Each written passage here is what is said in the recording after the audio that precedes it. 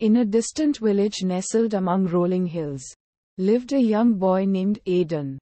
He possessed an insatiable curiosity that led him to explore the world around him with boundless enthusiasm. Aidan's village was known for its annual Grand Fair, a celebration of arts, crafts, and talents from every corner of the land.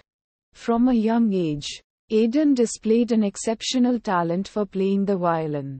He could coax melodies that stirred the soul from the strings of his instrument. His passion for music consumed him. And he spent every free moment practicing and perfecting his craft. His family, friends, and even the village elders were captivated by his performances. Aidan's fame spread beyond the village. And soon, he received an invitation to showcase his talents at the Grand Fair. Ecstatic and full of hope, he embarked on the journey to the fairground. As he stood on the grand stage, his fingers danced on the strings, producing the most enchanting symphony ever heard. The audience was spellbound, and a standing ovation greeted him as he concluded his performance. Aidan's success at the Grand Fair catapulted him into the limelight. He was offered opportunities to perform in grand theaters and palaces across the land. The applause and admiration of the masses became his constant companions. His life had transformed into a dream. Or so it seemed. Yet, amidst the whirlwind of success, a nagging feeling of emptiness tugged at Aidan's heart. He began to realize that his success had overshadowed the process he once loved. He missed the joy of practicing for the sheer pleasure of playing. Rather than for the applause. Aidan's once soulful melodies started to sound mechanical, lacking the emotion that once defined his music.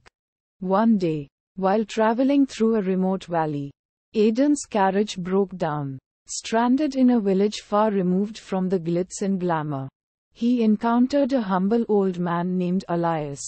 Elias was a violin maker, known for crafting instruments that resonated with a unique warmth and depth of character.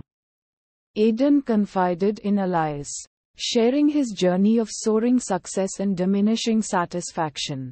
Elias listened intently, his eyes reflecting a wisdom born from years of experience.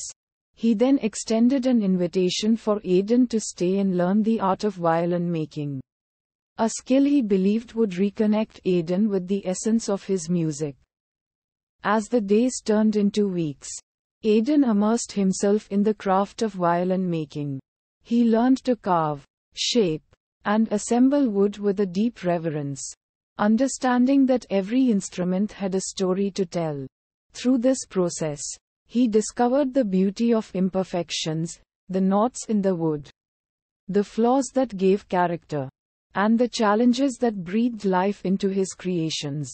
One evening, as Aidan played the violin he had meticulously crafted under Elias' guidance, tears welled up in his eyes. The music flowed from his heart, each note carrying the soulfulness he had once lost in the pursuit of fame. Aidan realized that embracing both successes and failures was the key to a truly fulfilling journey. With newfound wisdom, Aidan returned to his music career. He played with a renewed passion, embracing every performance as an opportunity to share his emotions. Rather than seeking external validation, his music resonated on a deeper level, touching the hearts of listeners in ways he could have never imagined. Word spread about Aidan's transformation and he began to inspire others to find their own balance between success and passion. The Grand Fair invited him back, not as a performer seeking accolades, but as a mentor sharing his journey. Aidan's performances became celebrations of human connection. And his music served as a reminder that success and failure were merely two sides of the same coin, both contributing to the symphony of life. And so, the tale of Aidan's journey echoed through generations, teaching all who heard it that the pursuit of passion should be driven by the love for the craft, rather than the allure of success. The melody of Aidan's life became a timeless anthem, reminding us to embrace the entire spectrum of experiences that shape our existence.